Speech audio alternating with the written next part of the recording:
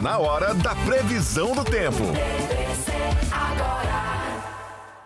Segunda-feira, manhã ensolarada aqui em Três Lagoas. Depois de um friozinho, né, gente? As temperaturas voltam a subir. Mas durante a semana ainda vamos continuar com esse clima agradável que durante a noite aquele tempinho um pouco mais fresco, né? Na casa aí dos 16 graus. E durante o dia, temperaturas sobem, mas não passam dos 35 graus. Nessa segunda-feira, a mínima foi de 16 graus aqui em Três Lagoas e a máxima será de 30 graus.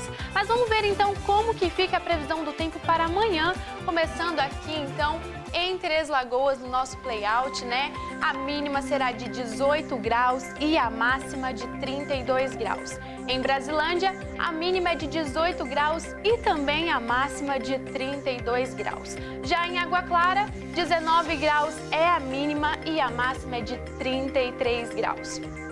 Próximo aqui, Aparecida do Tabuado é de 18 graus e a máxima de 31 graus. Lembrando que todas essas cidades aqui do Mato Grosso do Sul ensolarada, viu gente? Paranaíba também estará com 19 graus de mínima e 32 graus de máxima.